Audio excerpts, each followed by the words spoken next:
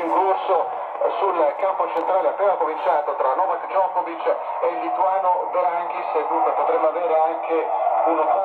finale tra Djokovic e Musetti e tra l'altro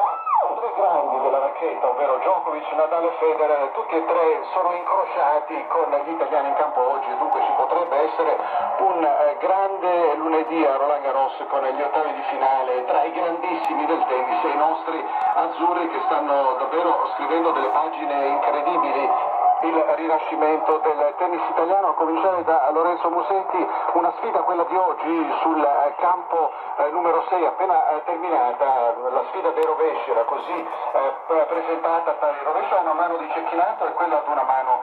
di eh, Musetti.